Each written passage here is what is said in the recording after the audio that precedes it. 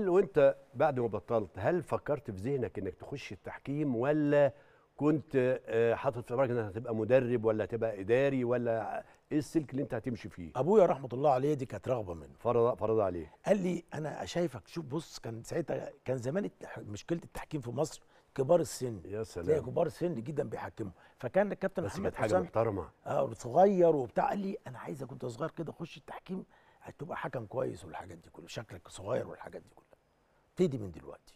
انت تقبلت الم... ال- آه؟ يعني كان لي- ساعتها بقى الحاج مصطفى كامل محمود آه. قال لي الحكم حر نفسه.